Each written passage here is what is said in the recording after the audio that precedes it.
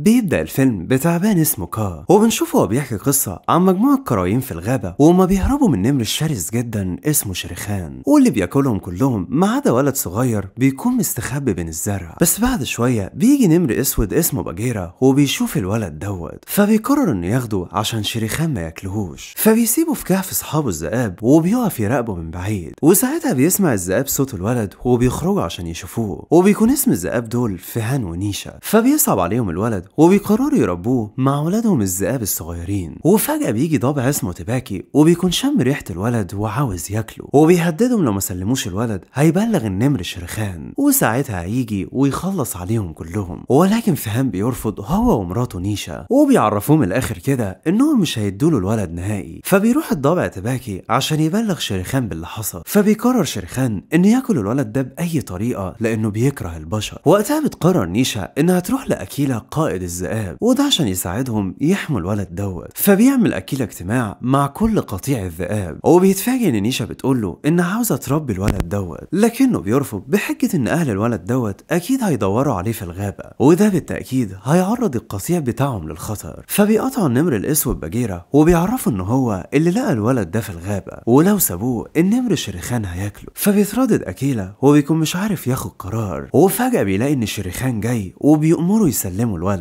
فبيرفض يسلمه له وبيفكروا بقانون الغابة. واللي بيقول إن ممنوع النمور يدخلوا أرض الذئاب. فبيقول له شريخان أنا كده كده مش مهتم بالقانون ومستعد اخلص عليكم كلكم لو ما سلمتونيش الولد. وقتها بيتجمع قطيع الذئاب حواليه وبيلاحظ شريخان إن عددهم كبير جدا. فبيضطر إنه يمشي بس بيوعدهم إنه هيطارد الولد دوت وهياكله في الآخر. فبيقرر اكيلا إنه يخلي نيشا وجوزها فيهان يربوا الولد دوت بشرط إنهم يعلموه قانون الغابة ويراقبوه طول الوقت.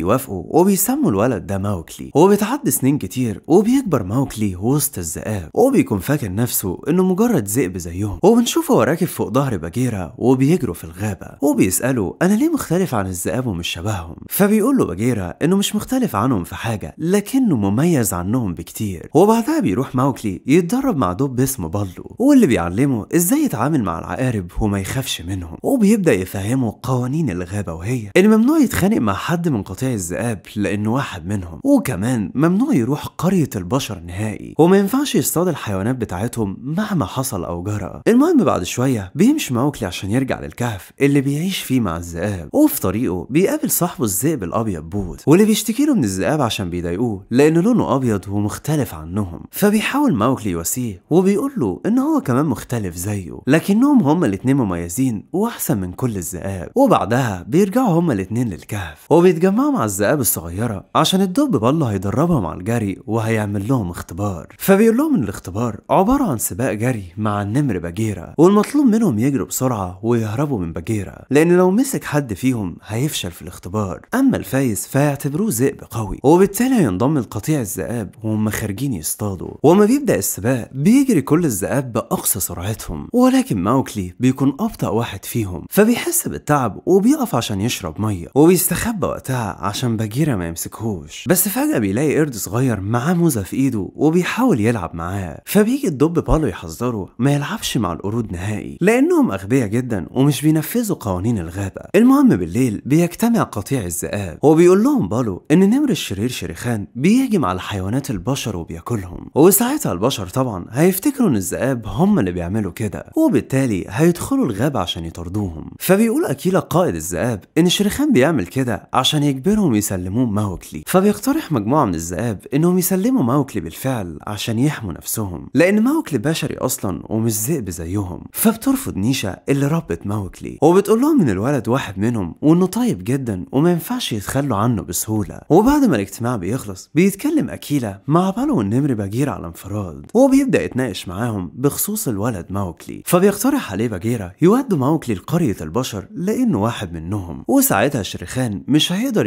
يلمسه نهائي. ولكن بالو بيرفض لأنه شايف إن البشر أشرار وما ينفعش يثقوا فيهم. فبيقول لهم اكيلا إن ماوكلي واحد منهم ومش هيتخلوا عنه ابدا. والحل الوحيد دلوقتي إنه يتدرب على اختبار السرعة وينجح فيه بأي طريقة. عشان باقي الذئاب يعترفوا بيه ويعتبروه واحد منهم ويدافعوا عنه. وتاني يوم بيقرر بالو إنه يدرب ماوكلي على اختبار السرعة. وبيخليه يجري ويتسلق الشجر زي البشر وما يستخدمش طريقة الذئاب. لحد ما في يوم بيروح يعوم في البحيرة وبيغطس تحت المية. بس فجأة بيلاقي شريخان جاي وبيشرب من البحيرة فبيكتم نفسه وبيحاول يفضل تحت المية عشان شريخان ما يشوفوش. وما بيلاقي إنه مشي بيخرج من البحيرة وبيطلع يجري بسرعة لحد ما بيقع في فخ عبارة عن حفرة عميقة. فبيشوفه شريخان وبيضطر يمشي عشان مش عارف ينزله. وساعتها بيظهر فيل ضخم جدا وبيساعد ماوكلي وبيخرجه من الحفرة. وساعتها بيلاحظ ماوكلي ان عنده ناب مكسور. فبيجي النمر باجيرا بياخده على ظهره وبيهرب بسرعة من المكان. وبالليل بيتكلم معاه وبيعرفوا إن البشر هم اللي عملوا الفخ اللي وقع فيه لأنهم عاملينه في الأساس عشان عاوزين يصطادوا شريخان بسبب إن كل شوية عمال ياكل في الحيوانات بتاعتهم. وده معناه إن الغابة ما بقتش مكان آمن ليه وبيبدأ يعترف له إنه بشري مش ذئب وإن هو اللي زمان لما كان صغير. عشان كده الأفضل ليه انه يروح قرية البشر ويعيش معاهم. وقدامه فرصة واحدة بس ده لو عايز يعيش في الغابة. والفرصة ديت إنه ينجح في اختبار السرعة عشان ينضم لقطيع الذئاب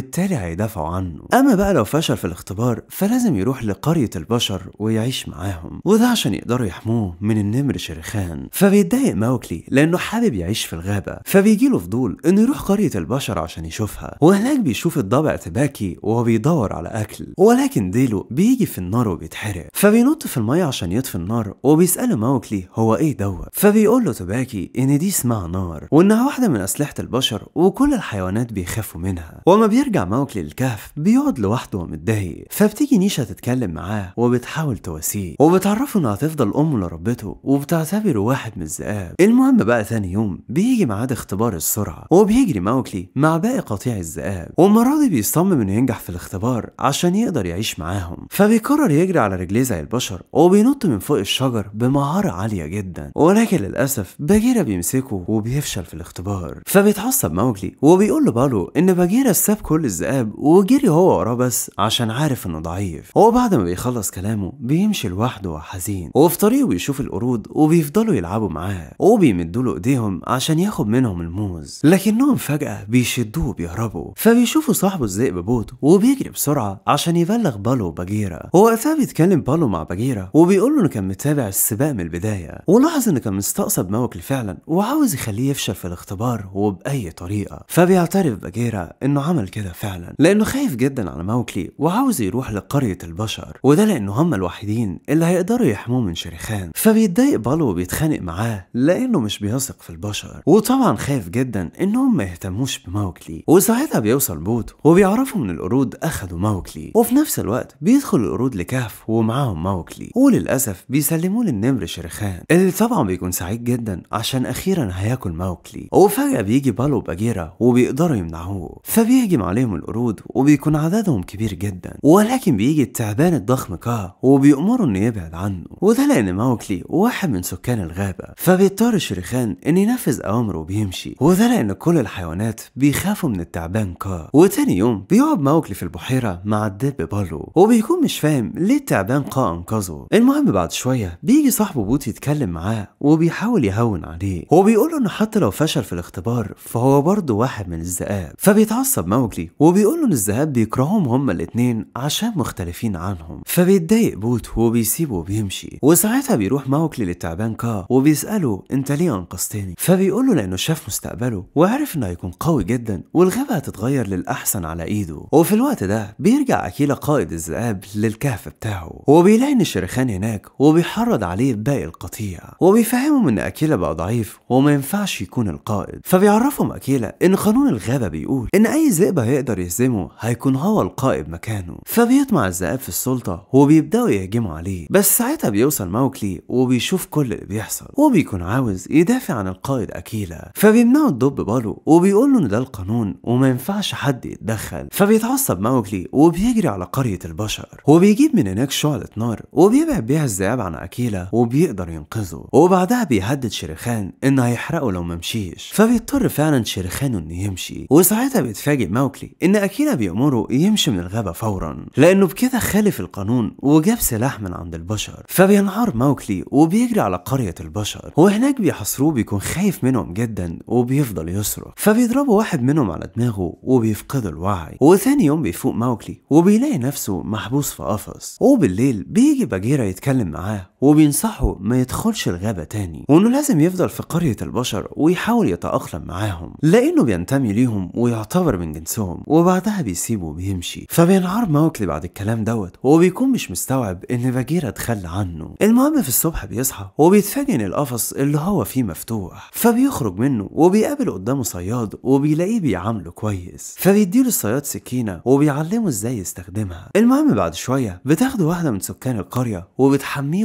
وبتلبسه لبس جديد. فبيخرج موكلي للقرية وبيبدأ يحب البشر وبيتأقلم على حياتهم. لحد ما في يوم بيجي ذئب من القطيع وبيتكلم معاه. وبيعرفوا إن شريخان دلوقتي سيطر على منطقة الذئاب وبقى هو القائد بتاعهم. وللأسف بيخلص على أي حد ما ينفذش أوامره عشان كده بيطلب منه الذئب إنه يرجع معاه تاني للغابة ويساعدهم يتخلصوا من شريخان. بس موكلي بيرفض بحاجة إن الذئاب طردوه وتخلوا عنه. ودلوقتي هو بينتمي للبشر وبيعتبروه واحد منهم وبيعاملوه كويس وبعدها بيسيبه وبيمشي. وبالليل بيكون في احتفال كبير في قرية البشر فبيقعد موكلي معاهم وبيسمع الصياد وهو بيحكي للقبيلة عن فيل ضخم حاول يصطاده لكنه فشل وكسر له الناب بتاعه. ودلوقتي هو محتفظ بالناب ده في بيته فبيتصدم موكلي لأن الفيل ده يبقى نفس الفيل اللي أنقذه من الفخ قبل كده. وساعتها بيدخل بيت الصياد وبيلاقيه محنط حيوانات كتيرة جدا واللي من ضمنهم صاحبه الذئب بوت فبينهار موكلي من العياط وساعتها بيبدأ يكره البشر. وتاني يوم بيقرر ينتقم لصاحبه وبيدخل بيت الصياد عشان يخلص عليه. لكنه بيشوف الناب بتاع الفيل وبيرجع في قراره. وبيبان كده إنه بدأ يفكر في حاجة. فبياخد الناب دوت وبيروح عشان يديه للفيل. وبيوعده إنه يعرفه مكان الصياد اللي كسر الناب بتاعه. بس على شرط إنه يساعده يتخلص من النمر شريخان. وبعد شوية بيروح موكلي للذئاب وبيطلب منهم يساعدوه ويقفوا ضد شريخان. ولكن أكيلا بيرفض بحجة ما ينفعش يخالفوا قوانين الغابة. فبيحاول موكلي يقنعهم إنهم ينضموا ليه عشان يحاربوا شريخان قبل ما يكون مصيرهم الموت. لكنهم للأسف بيرفضوا مرة تانية وبيسيبهم موكلي وبيمشي وبيقرر وقتها إنه ينفذ خطته لوحده. فبيروح يقف قدام الغابة لوحده وهو ماسك سكينة وبيفضل يندى على شريخان لحد ما بيطلع له. وساعتها بيسمعوا الذئاب وبيكونوا مش مستوعبين إن موكلي هيتحدى شريخان ويواجهه. المهم وقتها بيقلد موكلي صوت الذئاب فبيخرج قطيع من الأفيال وبيحاصروا شريخان وبيضربوه. وبيطلع إن موكلي هو اللي متفق معاهم يعملوا كده. فبيستغل الفرصة وبيحدف السكينة على شريخان وبيهجم عليه عشان يموته. بس شريخان بيكون قوي جدا وبيرميه على الأرض. فبيهرب موكلي وبيطلع فوق الشجرة. وساعتها بيشوف الصياد وبيضرب نار على شريخان. بس للأسف الرصاصة ما بتجيش فيه. فبيروح موكلي يتكلم مع الفيل الضخم وبيعرفه إن الصياد دوت هو اللي كسر له الناب بتاعه. ووقتها بيقرر باجيرا والذئاب إنهم يساعدوا موكلي وفي نفس اللحظة بيصوب الصياد بندقيته على شريخان عشان يخلص عليه. ولكن وقتها بيهجم عليه الفيل وبيموته وللأسف الطلقة اللي اتضربت بتيجي في أكيلا. فبيروح موكلي عشان يطمن عليه وبيعتذر له أكيلا عشان ما قدرش يساعده من البداية. وبيطلب منه إنه يكون قائد الذئاب من بعده وبعدها بيموت. فبيتعصب موكلي وبيروح يخلص عن نمر شريخان أخيرا. وبعدها بيتعين قائد للذئاب وبيعتبروه واحد منهم. وبيبدأ وقتها ينتشر السلام في الغابة كلها وبيخلص الفيلم. بيبدأ الفيلم بطفل اسمه موكلي وهو بيجري في الغابة مع مجموعة ذئاب صغيرين. ولما بيقع على الأرض بيهجم عليه نمر أسود اسمه باجيرا. وبيطلع إنه صاحبه وكان بيدربه على الهروب في حالة الخطر. وبيحكي باجيرا إنه في يوم لقى موكلي وهو رضيع في الغابة. وخدوا لاكيلا قائد الذئاب عشان يحميه ويخليه يعيش معاهم. وساعتها اكيلا رفض ياخده لأنه مجرد طفل بشري. ولكن مراته راكشا صممت إنها تاخد موكلي وبدأت تربيه مع أولادها الذئاب لحد ما كبر. وبعد شوية بيرجع موكلي لقطيع الذئاب وبيكون قاعد وحزين. وده لأنه مختلف عن باقي الذئاب ومش عارف يتصرف زيهم. فبتحاول راكشا إنها تواسيه وبتقول له إنه فرد من القطيع ومش لازم يثبت إنه ذئب. ولما بيجي موسم الجفاف بيتجمع كل الحيوانات عند صخرة السلام اللي بتكون في قاع النهر عشان يشربوا. وبيكون في قانون في الغابة بيقول إن لازم الحيوانات كلها تعيش في سلام بمجرد ظهور الصخرة دي في موسم الجفاف. وممنوع على الحيوانات المفترسة إنها تاكل أي حيوان. وقتها مش بيقدر موكلي إنه يشرب زي الحيوانات فبيحدف سلة في النهر عشان يشرب منها. فبيزعق له أكيلا قائد الذئاب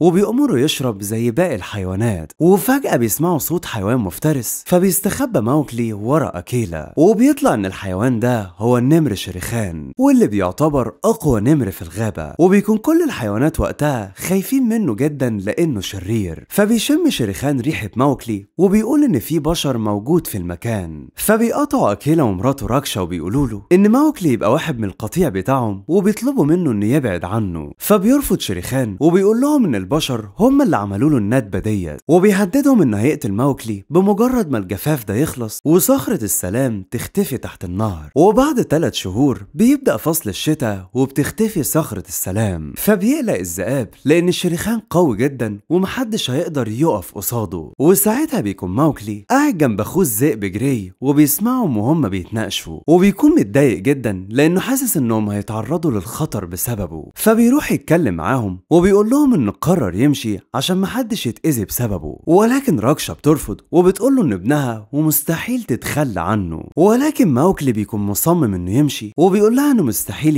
ينساها لأنها أمه اللي ربته فبياخدوا النمر باجيرا وبيقرر يخرجه من الغابة ويوديه للبشر اللي زيه. وده عشان يعيش معاهم في أمان بعيد عن أذى شريخان. وفي طريقهم بيوصلوا لمكان فيه قطيع جاموس. وبيحس باجيرا كده إن في حد بيتحرك ناحيتهم. وفجأة بيهجم شريخان على موكلي وبيحاول باجيرا إنه يمنعه وبيتخانق معاه. فبيترعب موكلي وبيطلع يجري بسرعة وبيروح شريخان وراه. ولكن الجاموس بيخافوا منه وبيطلعوا يجروا هما كمان وبيخبطوا شريخان. فبيستغل موكلي الفرصة وبينزل من على منحدر وبيركب فوق جاموسة وبيهرب بعيد. وفي الوقت ده بتتكلم راكشا مع ابنها جراي اللي بيكون زعلان جدا عشان موكلي مشي. وبتقوله إن هي كمان زعلانة لأنها بتحب موكلي ومفتقداه جدا. وفجأة وهما بيتكلموا بيجي شريخان وبيقول لأكيلا قائد القطيع فين موكلي فبيقول له إنه مشي وهيرجع للبشر تاني اللي هو واحد منهم. والأفضل بقى إنه ينساه ويخليه في حاله. فبيتعصب شريخان وبيهجم عليه وبيقتله وبيرميه بعد كده من فوق الجبل. وبعدها بيأمر الذئاب إنهم ينشروا خبر موت اكيلا في الغابة. وده عشان موكلي يرجع مرة تانية وساعتها هيقدر يقتله. وبيهددهم إنهم لو ما نفذوش أوامره هيقتلهم هما كمان. بنرجع بقى تاني لموكلي وهو نايم فوق الجاموسة. وبيصحى على صوت انهيار المنحدر اللي الجواميس ماشيين فيه. فبينط في النهر وبيمسك في جذع شجرة لحد ما بيوصل للغابة مرة تانية وبيدخل يدور على أكل. وساعتها بيسمع صوت حد بيقول له أنت بتعمل إيه هنا؟ وقبل ما يرد بيظهر قدامه تعبان كبرى بيقول له إن اسمه كا وبيطلب منه إنه يبص في عينيه. وساعتها بيبدأ ينيمه مغناطيسيا وبيعرفوا إن البشر معاهم سلاح اسمه البندقية. بيستخدموه ضد الحيوانات وبيقتلوهم بيه. عشان كده كل الحيوانات بيخافوا من البشر. وبيحكي له إنه في يوم وهو طفل رضيع كان قاعد مع والده في كهف جوه الغابة. وفجأة هجم النمر الشريخان على والده وقتله ولكن قبل ما يموت حرق وش شريخان وعمل له ندبة خلته يطلع يجري من غير ما يشوف موكلي لحد ما جه باجيرا وأخده وخلاه يعيش مع الذئاب. وبعد ما بيخلص التعبان كلامه بيلاقي إن موكلي مش في وعيه وبيقرب منه عشان ياكله. ولكن فجأة بيهجم عليه دب وبيضربه وبينقذ موكلي بعد ما بيفقد الوعي. ولما بيفوق بيلاقي إن الدب قدامه وبيقول له إن اسمه بالو. وبيطلب منه إنه يجيب له عسل من فوق الجبل لأنه جعان ومش قادر يتسلق فبيوافق موكلي وبيعمل حبل من فروع الشجر وبيوقع له خلية نحل لكنه بيتلسع. ولما بينزل بيشكره الدب بالو وبيقول له موكلي إنه بيدور على قرية البشر عشان عاوز يعيش معاهم لأن حياته دلوقتي خطر جدا جوه الغابة. فبياخدوا بالو للقرية وبيشوف ناس مولعين نار وبينصحوا إنه ما يقربش من النار ديت عشان ما يموتش. فبيقرر موكلي إنه يقعد مع الدب بالو فترة مؤقتة عشان يجيب له عسل من فوق الجبل لأنه لو فضل طول الشتاء من غير عسل بالتأكيد هيموت. وتاني يوم بيعمل موكلي أدوات عشان تخليه يجيب خلية العسل بسهولة من غير ما يتقرص. وبعدها بيطلع وبيوقع كميات كبيرة من الخلايا وهو مغطي جسمه بورق الشجر. ولما بيخلص بيروح يلعب في النهر مع الدب بالو لحد ما بيجي باجيرا وبيعرفوا إنه كان بيدور عليه. فبياخدوا موكلي للكهف بتاع بالو وبيوري له خلايا النحل اللي جابها له عشان يساعده في تخزين الأكل في الشتاء. وبالليل بيسمع موكلي صوت قطيع أفيال وبيخرج يبص عليهم. وبيلاقيهم متجمعين حوالين حفرة عميقة لأن في فيل صغير وقع فيها. فبيروح يجيب الحبل وبينزل الحفرة عشان يربط الفيل. وبعدها بيطلع مرة تانية وبيربط الطرف التاني في أنياب فيل كبير. وبيبدأ يشد الفيل الصغير لحد ما بيخرجه من الحفرة. وساعتها بيكون بالو شايف كل اللي بيحصل. وبيقول لباجيرا إن موكلي ده طفل طيب وذكي جدا. وبيطلب منه إنه يسيبه يعيش في الغابة لأنه واتعلق بيه وبقى يحبه. فبيرفض باجيرا وبيقول له إن لازم موكلي يمشي فورا لأن النمر الشريخان بيدور عليه وعاوز يقتله. فبيتصدم بالو لأنه عارف إن الشريخان دوت يبقى شرير قوي. وبيروح يطلب من موكلي انه يمشي من الغابة فورا ويروح لقرية البشر. ولما بيلاقيه رافض بيبدأ يزعق له وبيكذب عليه. وبيقول له إنه بيكرهه ومش عاوز يشوفه في الغابة نهائي. وفعلا بيتضايق موكلي وبيسيبه وبيمشي. وساعتها بيزعل بالو وبيقول لباجيرا أنه حب موكلي وبيعتبره صاحبه الوحيد. في الوقت دوت بيطلع موكلي فوق شجرة وبيقعد لوحده وهو حزين. وفجأة بيجي مجموعة قرود بيخطفوه وبيمشوا. فبيشوفهم بالو وباجيرا وبيجروا وراهم عشان ينقذوه. لحد ما بيلاقوهم بيتسلقوا حبل عالي وواخدين موكلي المعبد قديم على قمة الجبل. فبيدخل موكلي للمعبد وبيلاقي قرد كبير بيظهر قدامه وبيعرفه انه هو ملك القرود. وبيقول له إنه مستعد يحميه من النمر شريخان بشرط إنه يولع له نار عشان يستخدمها كسلاح. فبيقول له موكلي إنه مش بيقدر يولع النار ديت. وساعتها بيدخل بالو للمعبد وبيتكلم مع الملك وبيحاول يشغله. لحد ما بيجي باجيرا من الباب الخلفي وبيخلي موكلي يتحرك بهدوء عشان يهرب من غير ما حد يشوفه. ولكن للأسف بيشوفوا واحد من القرود وبيطلعوا كلهم يجروا وراهم. فبيطلع ملك القرود من المعبد وبيجري ورا موكلي لحد ما بيوصل له وبيقول له ان هو الوحيد اللي هيقدر يحميه. وده لأن شريخان قتل اكيلا قائد الذئاب اللي كان بمثابة أبوه. فبيتصدم موكلي جدا وبيطلع يجري. وساعتها بيجري وراه ملك القرود وبتتكسر أعمدة المعبد بسبب إن حجمه كبير. لحد ما بيطلع موكلي من المكان وبيتهد المكان كله على الملك. وقتها بيدور باجيرا على موكلي وبيلاقيه واقف فوق شجرة. وبيبدأ يلومه عشان ما قالوش إن اكيلا مات. وبيعرفوا إنه هيرجع لقطيع الذئاب عشان ينتقم من شريخان ويخلصهم من شره. فبيروح لقرية البشر وبياخد شعلة نار وبيدخل للغابة. وفي طريقه بيقع من الشعلة شرارة نار على الزرع وبتبدأ الغابة تولع. ولما بيوصل موكلي لقطيع الذئاب بينادي بصوت عالي على شريخان وبيقول له اظهر لي يالا لو راجل فبيجي شريخان وبيحاول يستفزه عشان يرمي شعلة النار اللي معاه. وبيقول له إنه ظهر على حقيقته زي باقي البشر وإنه جاي يحرق الغابة عشان يأذي كل الحيوانات. فبيشوف موكل الحيوانات وهم خايفين منه وبيرمي الشعلة في المية وبيقول له إنه مستحيل يأذي الذئاب لأنهم أهله. فبيقرب شريخان ناحيته عشان ياكله ولكن بيلاقي إن الدب بالو ومعاه باجيرا والذئاب واقفين قصاده عشان يمنعوه. فبيهجموا كلهم عليه ومعاهم موكلي ولكن باجيرا بيمنعه وبيبدأ يقول له حارب شريخان بطريقتك كبشر مش كذئب. فبيجري موكلي ناحية النار وبيبان كده إنه بيخطط لحاجة. ولما شريخان بيشوفه بيجري وراه بأقصى سرعته فبيحاول باجيرا إنه يمنعه ولكن شريخان بيكون أقوى منه وبيقرر يقتله. ووقتها الذئاب بيجوا في آخر لحظة وبيتخانقوا معاه. وساعتها بيطلع موكلي فوق شجره وبيعمل حبل من الأغصان بتاعتها. لحد ما بيجي شريخان وبيطلع الشجرة عشان يخلص عليه. فبيرمي موكلي الحبل بسرعة على شجرة تانية. وبيقف على غصن مكسور وبيفضل يستفز في شريخان عشان يهجم عليه. وفعلا بيهجم عليه وبينط موكلي في الشجرة اللي ربط فيها الحبل. وساعتها بيتكسر الغصن بشريخان وبيقع في النار وبيموت فبيفرح موكلي وبينزل على الأرض بعد ما خطته نجحت لكنه بيتضايق جدا لأن للأسف الغابة بتولع وفجأة بيلاقي الأفيال اللي أنقذ ابنهم الصغير قبل كده جايين يساعدوه وبيفتحوا ممرات من النهر عشان المية تطفي النار وبعدها بيرجع موكلي لقطيع الذئاب وبيكونوا مبسوطين برجوعه ليهم وكمان بيرجع يتدرب مع النمر باجيرا على الهروب في الغابة وساعتها بينجح لأول مرة في حياته وبيخلص الفيلم. لو عجبك الفيلم بقى اعمل لي like للفيديو واشترك في القناة. وعلى فكرة أنا عملت قناة تانية وسميتها Overdose أفلام. وهسيب لكم الرابط بتاعها في وصف الفيديو. خش بقى خد لك جولة فيها وما تنساش الاشتراك. مع السلامة.